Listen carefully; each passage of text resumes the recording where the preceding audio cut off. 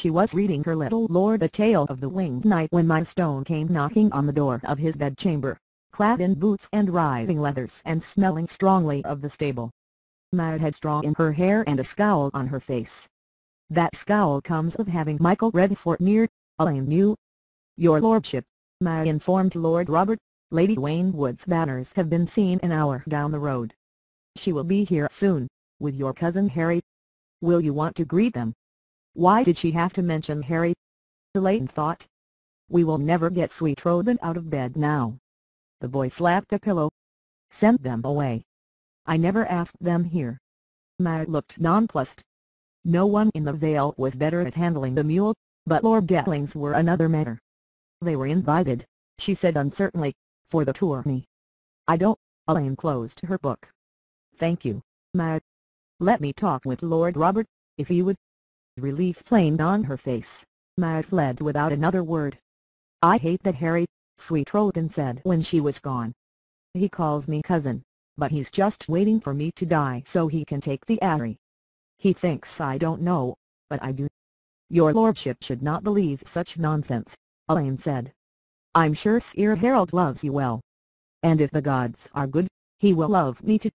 Her tummy gave a little flutter. He doesn't, Lord Robert insisted. He wants my father's castle, that's all, so he pretends. The boy clutched the blanket to his pimply chest. I don't want you to marry him, Alayne. I am the lord of the Aerie, and I forbid it. He sounded as if he were about to cry. You should marry me instead. We could sleep in the same bed every night, and you could read me stories. No man can wed me so long as my dwarf husband still lives somewhere in this world. Queen Cersei had collected the head of a dozen dwarfs, Prettier claimed, but none were Tyrion's. Sweet Robin, you must not say such things. You are the lord of the Aerie and defender of the Vale, and you must wed a highborn lady and father the son to sit in the high hall of House Arryn after you are gone. Robert wiped his nose. But I want, she put a finger to his lips. I know what you want, but it cannot be. I am no fit wife for you. I am bastard-born. I don't care. I love you best of anyone. You are such a little fool. Your lord's animate will care. Some call my father oppumed and ambitious. If you were to take me to wife, they would say that he made you do it, that it was no will of yours. The lords declarant might take arms against him once again, and he and I should both be put to death. I wouldn't let them hurt you. Lord Robert said. If they try I will make them all flight. His hand began to tremble. Alayne stroked his fingers. There, my sweet Robin, be still now. When the shaking passed, she said, you must have a proper wife, a true-born maid of noble birth. No. I want to marry you, Alayne. Once your lady mother intended the very thing, but I want true-born men, and noble. My lord is kind to say so. Alayne smoothed his hair. Lady Lysa had never let the servants touch it, and after she had died Robert had suffered terrible shaking fits whenever anyone came near him with a blade, so it had been allowed to grow until it tumbled over his round shoulders and halfway down his flabby white chest. He does have pretty hair. If the gods are good and he lives long enough to wed, his wife will admire his hair, surely. That much she will love about him. Any child of ours would be baseborn. Only a true-born child of House Arryn can display Sir Harold as your heir. My father will find a proper wife for you, some high-born girl much prettier than me. You'll hunt and hawk together, and she'll give you her favor to wear in tournaments. Before long, you will have forgotten me entirely. I won't. You will. You must. Her voice was firm, but gentle. The Lord of the Aerie can do as he likes. Can't I still love you, even if I have to marry her? Sir Harold has a common woman. Then Jacot says she carrying his bastard. Then Jacot should learn to keep his fool's mouth shut. Is that what you would have from me? A bastard? She pulled her fingers from his grasp. Would you dishonor me that way? The boy looked stricken. No. I never meant, Alayne stood. If it please my lord, I must go and find my father. Someone needs to greet Lady Waynwood. Before her little lord could find the words to protest, she gave him a quick curtsy and fled the bed-chamber, sweeping down the hall and across a covered bridge to the Lord Protector's apartments. When she had left Petyr Baelish that morning he had been breaking his fast with old Oswell who had arrived last night from Gulltown on a lathered horse. She hoped they might still be talking, but Petyr's solar proved empty. Someone had left the window open and a stack of papers had blown onto the floor. The sun was slanting through the thick yellow windows, and dust motes danced in the light like tiny golden insects. Though snow had blanketed the heights of the Giant's Lance above, below the mountain the autumn lingered and winter wheat was ripening in the fields. Outside the window she could hear the laughter of the washerwomen at the well, the din of steel on steel from the ward where the knights were at their drills. Good sounds. Alayne loved it here. She felt alive again, for the first since her father, since Lord Eddard Stark had died. She closed the window, gathered up the fallen papers, and stacked them on the table. One was a list of the competitors. Four and sixty knights had been invited to vie for places amongst Lord Robert Arryn's new Brotherhood of Winged Knights, and four and sixty knights had come to tilt for the right to wear falcon's wings upon their war helms and guard their lord. The competitors came from all over the Vale, from the mountain valleys and the coast, from Gulltown and the Bloody Gate, even the three sisters. Though a few were promised, only three were wed, the eight victors would be expected to spend the next three years at Lord Robert's side, as his own personal guard Alayne had suggested seven, like the King's Guard, but Sweet Robin had insisted that he must have more knights than King Tommen. So older men with wives and children had not been invited. And they came, Alayne thought proudly. They all came. It had fallen out just as Petyr said it would, the day the ravens flew. They're young, eager, hungry for adventure and renown. Lysa would not let them go to war. This is the next best thing. The chance to serve their lord and prove their prowess. They will come, even Harry the heir. He had smoothed her hair and kissed her forehead. What a clever daughter you are. It was clever. The tourney, the prizes, the wing knights, it had all been her own notion. Lord Robert's mother had filled him full of fears, but he always took courage from the tales she read him of Sir-Ardes Arryn, the winged knight of legend, founder of his line. Why not surround him with winged knights? She had thought one night, after Sweet Robin had finally drifted off to sleep. His own king's guard, to keep him safe and make him brave. And no sooner did she tell Petyr her idea than he went out and made it happen. He will want to be there to greet Sir Harold. Where could he have gone? Alayne swept down the tower stairs to enter the pillared gallery at the back of the great hall. Below her, serving men were setting up trestle tables for the evening feast while their wives and daughters swept up the old rushes and scattered fresh ones. Lord Nestor was showing Lady Waxley his prize tapestries, with their scenes of hunt and chase. The same panels had once hung in the Red Keep of King's Landing, when Robert sat the Iron Throne. Joffrey had them taken down and they had languished in some cellar until Petyr Baelish arranged for them to be brought to the Vale as a gift for Nestor Royce. Not only were the hangings beautiful, but the High Steward delighted in telling anyone who'd listen that they had once belonged to a king. Petyr was not in the Great Hall.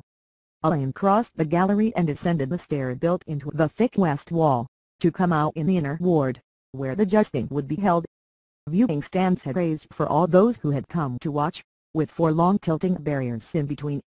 Lord Nestor's men were painting the barriers with whitewash, draping the stands with bright banners, and hanging shields on the gate the competitors would pass through when they made their entrance.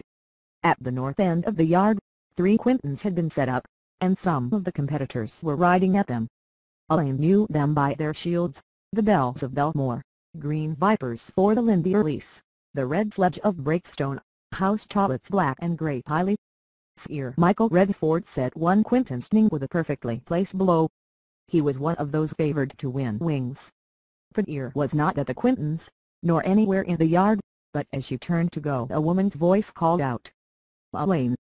cried Myranda Royce, from a carved stone bench beneath a beech tree, where she was seated between two men. She looked in need of rescue. Smiling, Alayne walked toward her friend.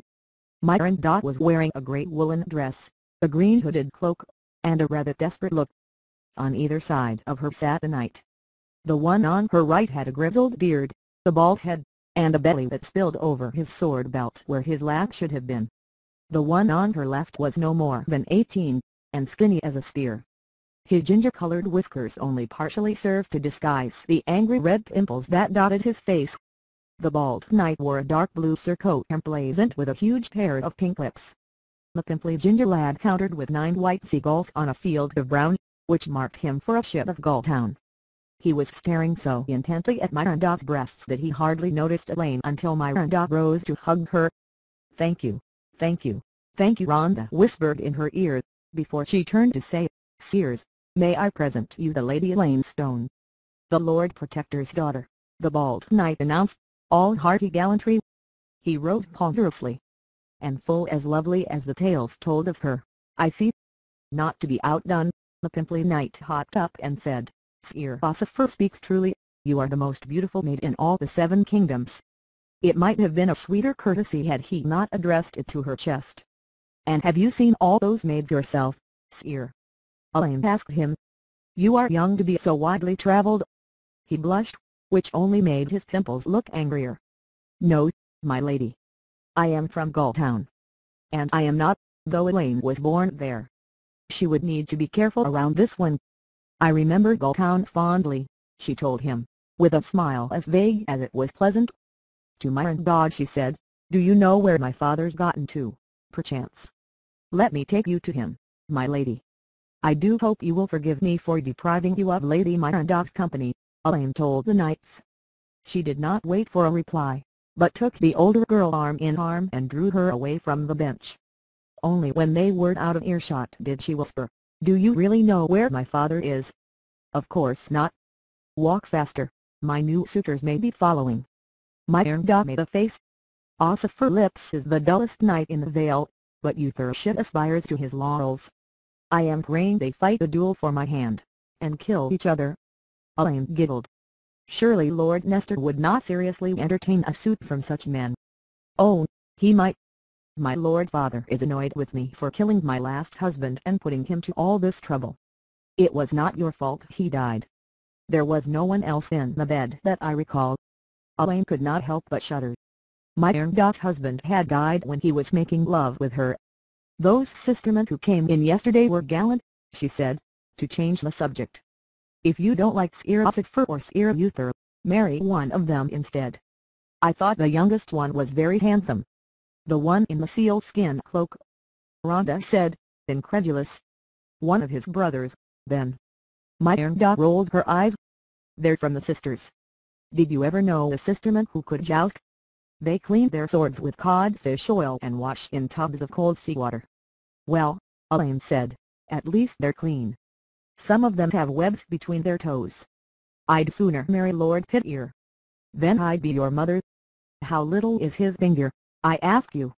Alayne did not dignify that question with an answer. Lady Waynwood will be here soon, with her sons. Is that a promise or a threat? My Myranda said. The First Lady Waynwood must have been a mare, I think. How else to explain why all the Waynwood men are horse-faced? If I were ever to wed a Waynwood, he would have to swear a vow to don his helm whenever he wished to fuck me, and keep the visor closed. She gave Alayne a pinch on the arm, my Harry will be with them, though. I notice that you left him out. I shall never forgive you for stealing him away from me. He's the boy I want to marry. The betrothal was my father's doing, Alayne protested, as she had a hundred times before. She is only teasing, she told herself, but behind the japes, she could hear the hurt. Myranda stopped to gaze across the yard at the knights at their practice. Now there's the very sort of husband I need.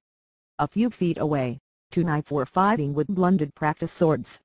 Their blades crashed together twice, then slipped past each other only to be blocked by upraised shields, but the bigger man gave ground at the impact. Alayne could not see the front of his shield from where she stood, but his attacker bore three ravens in flight, each clutching the red heart in its claws. Three hearts and three ravens. She knew right then how the fight would end. A few moments later and the big man sprawled dazed into dust with his helm askew. When his squire undid the fastenings to bare his head, there was blood trickling down his scalp. If the swords had not been blunted, there would be brains as well. That last head blow had been so hard Alayne had winced in sympathy when it fell. Myranda Royce considered the victor thoughtfully.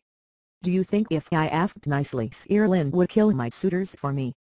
He might, for a plum bag of gold. Sirlin Corbray was forever desperately short of coin, all the Vale knew that. Alas, all I have is a plum pair of teats. Though with Ser Lyn, a plum sausage under my skirts would serve me better. Alayne's giggle drew Corbray's attention. He handed his shield to his loutish squire, removed his helm and quilted coif. Ladies. His long brown hair was plastered to his brow by sweat. Well struck, Sirlin, Alayne called out though I fear you've knocked poor Sir Owen insensible. Corbray glanced back to where his foe was being helped from the yard by his squire. He had no sense to start with, or he should not have tried me. There is truth in that, Alayne thought, but some demon of mischief was in her that morning, so she gave Ser Lyn a thrust of her own. Smiling sweetly, she said, My lord father tells me your brother's new wife is with child. Corbray gave her a dark look, Lionel sends his regrets. He remains at Heart's home with his peddler's daughter, watching her belly swell as if he were the first man who ever got a wench pregnant. Oh, that's an open wound, thought Alayne. Lionel Corbray's first wife had given him nothing but a frail, sickly babe who died in infancy, and during all those years Ser Lyn had remained his brother's heir. When the poor woman finally died, however, Penelope Baelish had stepped in and brokered a new marriage for Lord Corbray, the second Lady Corbray was 16, the daughter of a wealthy Gulltown merchant, but she had come with an immense dowry, and men said she was a tall, strapping, healthy girl, with big breasts and good, wide hips. And fertile too, it seems. We are all praying that the mother grants Lady Corbray an easy labor and healthy child, said Myranda. Alayne could not help herself. She smiled and said, my father is always pleased to be of service to one of Lord Robert's leal Bannermen. I'm sure he would be most delighted to help broker a marriage for you as well, Ser Lyn. How kind of him. Corbray's lips drew back in something that might have been meant as a smile, though it gave Alayne a chill. But what need have I for heirs when I am landless and like to remain so, thanks to our Lord Protector? No. Tell your Lord Father I need none of his brood mares, the venom in his voice was so thick that for a moment she almost forgot that Lyn Corbray was actually her father's catchco, bought and paid for. Or was he? Perhaps, instead of being Petyr's man pretending to be Petyr's foe, he was actually his foe pretending to be his man pretending to be his foe. Just thinking about it was enough to make her head spin. Alayne turned abruptly from the yard, and bumped into a short, sharp-faced man with a brush of orange hair who had come up behind her. His hand shot out and caught her arm before she could fall. My lady. My pardons if I took you unawares. The fault was mine. I did not see you standing there. We mice are quiet creatures. Sir Shadrich was so short that he might have been taken for a squire, but his face belonged to a much older man. She saw long leagues in the wrinkles at the corner of his mouth, old battles in the scar beneath his ear, and a hardness behind the eyes that no boy would ever have. This was a man grown. Even Randa overtopped him, though. Will you be seeking wings? The Royce girl said. The mouse with wings would be a silly sight. Perhaps you will try the melee instead. Alayne suggested. The melee was an afterthought, a sop for all the brothers, uncles, fathers, and friends who had accompanied the competitors to the gates of the moon to see them with their silver wings, but there would be prizes for the champions, and a chance to win ransoms. A good melee is all a hedge knight can hope for, unless he stumbles on a bag of dragons. And that's not likely, is it? I suppose not. But now you must excuse us, Sir. We need to find my lord father. Horns sounded from atop the wall. Too late, Myranda said. They're here. We shall need to do the honors by ourselves. She grinned. Last one to the gate must marry you shit. They made a race of it dashing headlong across the yard and past the stables, skirts flapping, whilst knights and serving men alike looked on, and pigs and chickens scattered before them. It was most unladylike, but Alayne Sound found herself laughing. For just a little while, as she ran, she forget who she was, and where, and found herself remembering bright cold days at Winterfell, when she would race through Winterfell with her friend Jeyne Poole, with Arya running after them trying to keep up. By the time they arrived at the gatehouse, both of them were red-faced and panting. Myranda had lost her cloak somewhere along the way. They were just in time. The portcullis had been raised, and a column of riders twenty strong were passing underneath. At their head rode Daniel Wood, Lady of Iron-Oaks, stern and slim, her grey brown hair bound up in a scarf. Her riding cloak was heavy green wool trimmed with brown fur, and clasped at the throat by a yellow brooch in the shape of the broken wheel of her house. Myrna Royce stepped forward and sketched a curtsy. Lady Anya. Welcome to the gates of the moon. Lady Myrna. Lady Alayne. Daniel Waynwood inclined her head to each of them in turn. It is good of you to greet us. Allowed me to present my grandson, Sir Roland Waynwood. She nodded at the knight who had spoken. And this is my youngest son, Sir Wallace Waynwood. And of course my ward, Sir Harold Hardyng. Harry the heir, Alayne thought. My husband-to-be, if he will have me. The sudden terror filled her. She wondered if her face was red. Don't stare at him, she reminded herself. Don't stare, don't gape, don't gawk. Look away. Her hair must be a frightful mess after all that running. It took all her will to stop herself from trying to tuck the loose strands back into place. Never mind your stupid hair. Your hair doesn't matter. It's him that matters. Him, and the Woods. Sir Roland was the oldest of the three, though no more than five and twenty. He was taller and more muscular than Sir Wallace, but both were long-faced and lantern-jawed, with stringy brown hair and pinched noses. Horseback seed and homely, Alayne thought. Harry, though, my Harry, my lord, my lover, my betrothed. Sir Harold Hardyng looked every inch a lord in waiting, clean-limbed and handsome, straight as a lance, hard with muscle. Men old enough to have known John Arryn in his youth said Sir Harold had his look, she knew, he had a mop of sandy blonde hair, pale blue eyes, an aquiline nose. Joffrey was comely too, though, she reminded herself. A comely monster, that's what he was. Little Lord Tyrion was kinder, twisted though he was.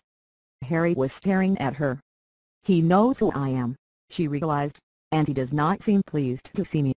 It was only then that she took note of his heraldry. Though his surcoat and horse trappings were patterned in the red and white diamonds of House Hardyng, his shield was quartered. The arms of Hardyng and Waynwood were displayed in the first and third quarters, respectively, but in the second and fourth quarters he bore the moon and falcon of House Arryn, sky blue and cream. Sweet Robin will not like that. Sir Wallace said, Are we at last? You are, Sears, replied Myrna Royce, taking absolutely no notice of his stammer. WHWH when will the TT tilts commence? Oh, soon, I pray, said Randa. Some of the competitors have been here for almost a moon's turn, partaking of my father's meat and mead. All good fellows, and very brave, but they do eat rather a lot. The Waynwoods laughed, and even Harry the Heir cracked a thin smile. It was snowing in the passes, else we would have been here sooner, said Lady Anya. Had we known such beauty awaited us at the gates, we would have flown, Sir Roland said. Though his words were addressed to Myrna Royce, he smiled at Alayne as he said them. To fly you would need wings, Roger replied, and there are some knights here who might have a thing to say concerning that. I look forward to a spirited discussion. Sir Roland swung down from his horse, turned to Alayne, and smiled. I had heard that Lord Little Littlefather's daughter was fair of face and full of grace but no one ever told me that she was a thief. You wrong me, Sir. I am no thief. Sir Roland placed his hand over his heart. Then how do you explain this hole in my chest, from where you stole my heart? He is only teasing you, my lady, stammered Sir Wallace. My Ben and nephew never had a HH heart. The Waynwood wheel has a broken spoke, and we have my uncle here. Sir Roland gave Wallace a whack behind the ear. Squires should be quiet when knights are speaking. Sir Wallace reddened. I am no more the esquire, my lady. My M nephew knows full well that I was Caetani Caetani, dubbed. Alayne suggested gently. Dubbed, said Wallace Waynwood, gratefully. Robb would be his age, if he were still alive, she could not help but think, but Rob died a king, and this is just a boy. My lord father has assigned you rooms in the East Tower. Lady Myrna was telling Lady Waynwood, but I fear your knights will need to share a bed. The gates of the moon were never meant to house so many noble visitors. You are in the Falcon Tower, Sir Harold, Alayne put in far away from Sweet Robin. That was intentional, she knew. Premier Baelish did not leave such things to chance. If it please you, I will show you to your chambers myself. This time her eyes met Harry's. She smiled just for him, and said a silent prayer to the maiden. Please, he doesn't need to love me, just make him like me, just a little, that would be enough for now. Sir Harold looked down at her coldly. Why should it please me to be escorted anywhere by little Ethel's bastard? All three Wingwoods looked at him askance. You are a guest here, Harry, Lady Daniel reminded him, in a frosty voice. See that you remember that. The lady's armor is her courtesy. Alayne could feel the blood rushing to her face. No tears, she prayed. Please, please, I must not cry. As you wish, sire. And now if you will excuse me, little Ether bastard must find her lord father and let him know that you have come, so we can begin the tourney on the morrow. And may your horse stumble, Harry the heir, so you fall on your stupid head in your first tilt. She showed the Wingwoods a stone face as they blurted out awkward apologies for their companion. When they were done she turned and fled. Near the keep, she ran headlong into Sir Lothor Brune and almost knocked him off his feet. Harry the heir, Harry the Arts, I say. He's just some up-young squire. Alayne was so grateful that she hugged him. Thank you. Have you seen my father, Sir? Down in the vaults, Sir Lothor said, inspecting Lord Nestor's granaries with Lord Grafton and Lord Belmore. The vaults were large and dark and filthy. Alayne lit the taper and clutched her skirt as she made the descent. Near the bottom, she heard Lord Grafton's booming voice and followed. The merchants are clamoring to buy, and the lords are clamoring to sell, the Gulltowner was saying when she found them. Though not the tall man, Grafton was wide, with thick arms and shoulders. His hair was a dirty blonde mop. How am I to stop that, my lord? Post guardsmen on the docks. If need be, seize the ships. How does not matter, so long as no food leaves the Vale. These prices, though, protested fat Lord Belmore. These prices are more than fair. You say more than fair, my lord. I say less than we would wish. Wait. If need be, buy the food yourself and keep it stored. Winter is coming. Prices must go higher. Perhaps, said Belmore, doubtfully. Bronze Yohn will not wait, Grafton complained. He need not ship through Gulltown. He has his own ports. Whilst we are hoarding our harvest, Royce and the other lords declarant will turn theirs into silver, you may be sure of that. Let us hope so, said Petyr. When their granaries are empty, they will need every scrap of that silver to buy sustenance from us. And now if you will excuse me, my lord, it would seem my daughter has need of me. Lady Alayne, Lord Grafton said. You look bright-eyed this morning. You are kind to say so, my lord. Father, I am sorry to disturb you but I thought you would want to know that the Wingwoods have arrived. And is Sir Harold with them? Horrible Sir Harold. He Island Lord Belmore laughed. I never thought Royce would let him come. Is he blind, or merely stupid? He is honorable. Sometimes it amounts to the same thing. If he denied the lad the chance to prove himself, it could create a rift between them, so why not let him tilt? The boy is nowise skilled enough to win a place amongst the wing knights, I suppose not, said Belmore, grudgingly. Lord Grafton kissed Alayne on the hand, and the two lords went off, leaving her alone with her lord father. Come, Premier said, walk with me. He took her by the arm and led her deeper into the vaults, past an empty dungeon. And how was your first meeting with Harry the heir? He's horrible. The world is full of horrors, sweet. By now you ought to know that. You've seen enough of them. Yes, she said, but why must he be so cruel? He called me your bastard. Right in the yard, in front of everyone. So far as he knows, that's who you are. This betrothal was never his idea, and Bronze Yohn has no doubt warned him against my wiles. You are my daughter. He does not trust you, and he believes that you're beneath him. Well, I'm not. He may think he's some great knight, but Sir Lothor says he's just some up-young squire. Premier put his arm around her. So he is, but he is Robert's heir as well. Bringing Harry here was the first step in our plan, but now we need to keep him, and only you can do that. He has a weakness for a pretty face, and whose face is prettier than yours? Charm him. Entrance him. Bewitch him. I don't know how, she said miserably. Oh, I think you do, said little Ethel, with one of those smiles that did not reach his eyes. You will be the most beautiful woman in the hall tonight, as lovely as your lady mother at your age. I cannot see you on the dais, but you'll have a place of honor above the salt and underneath the walls cons. The fire will be shining in your hair, so everyone will see how fair a face you are. Keep a good long spoon on hand to beat the squires off, sweet a link. You will not want green boys underfoot when the knights come round to beg you for your favor. Who would ask to wear a bastard's favor? Harry, if he is the wits the gods gave a goose, but do not give it to him. Choose some other gallant, and favor him instead. You do not want to seem too eager. No, Alayne said. Lady Waynwood will insist that Harry dance with you, I can't promise you that much. That will be your chance. Smile at the boy. Touch him when you speak. Tease him, to pique his pride. If he seems to be responding, tell him that you are feeling faint, and ask him to take you outside for a breath of fresh air. No knight could refuse such a request from a fair maiden. Yes, she said, but he thinks that I'm a bastard. The beautiful bastard, and the Lord Protector's daughter. Petyr drew her close and kissed her on both cheeks. The night belongs to you, sweet-a-ling, remember that, always.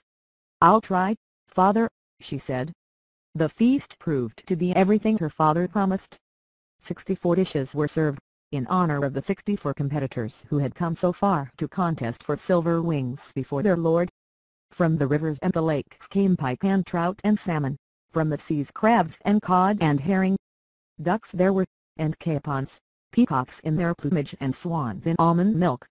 Suckling pigs were served up crackling with apples in their mouths, and three huge aurochs were roasted whole above firepits in the castle yard, since they were too big to get through the kitchen doors. Loaves of hot bread filled the trestle tables in Lord Mayor's hall, and massive wheels of cheese were brought up from the vaults. The butter was fresh churned, and there were leeks and carrots, roasted onions, beets, turnips, parsnips. And best of all, Lord Nestor's cooks prepared a splendid subtlety, a lemon cake in the shape of the giant's lance, twelve feet tall and adorned with an aerie made of sugar. For me, Alayne thought, as they wheeled it out. Sweet Robin loved lemon cakes too, but only after she told him that they were her favorites. The cake had required every lemon in the vale, but Petyr had promised that he would send to Dorne for more. There were gifts as well, splendid gifts. Each of the competitors received a cloak of cloth of silver and a lapis brooch in the shape of a pair of falcon's wings. Fine steel daggers were given to the brothers, fathers, and friends who had come to watch them tilt. For their mothers, sisters, and ladies fair there were bolts of silk and Myrish lace. Lord Nestor has an open hand, Alayne heard Sir Edmund Breakstone say, an open hand and a little finger, Lady Waynwood replied, with a nod toward Petyr Baelish. Breakstone was not slow to take her meaning. The true source of this largesse was not Lord Nestor, but the Lord Protector. When the last course had been served and cleared, the tables were lifted from their trestles to clear the floor for dancing, and musicians were brought in are there no singers? asked Ben Coldwater. The little lord cannot abide them, Sir Lyman Glendearly replied, not since Merowind. Ah, that was the man who murdered Lady Lysa, yes. Alayne spoke up. His singing pleased her greatly, and she showed him too much favor, perhaps. When she wed my father he went mad and pushed her out the moon door. Lord Robert has hated singing ever since. He is still fond of music, though. As am I, Coldwater said. Rising, he offered Alayne his hand. Would you honor me with this dance, my lady? You're very kind, she said, as he led her to the floor. He was her first partner of the evening, but far from the last. Just as Petyr had promised, the young knights flocked around her, dying for her favor. After Ben came Andrew Tollet, handsome Sir Iron, red-nosed Sir Morgarth, and Sir Shadrich the Mad Mouse. Then Sir Albert Royce, Myranda's stout brother and Lord Nestor's heir. She danced with all three Sunderlands, none of whom had webs between their fingers, though she could not vouch for their toes. Uthershid appeared to pay her slightly compliments as he trod upon her feet, but Sir Targan the helpful proved to be the soul of courtesy. After that Sir Roland Waynwood swept her up and made her laugh with mocking comments about half the other knights in the hall. His uncle Wallace took a turn as well and tried to do the same, but the words would not come. Alayne finally took pity on him and began to chatter happily, to spare him the embarrassment. When the dance was done she excused herself, and went back to her place to have a drink of wine. And there he stood, Harry the Heir himself, tall, handsome, scowling. Lady Alayne. May I partner you in this dance?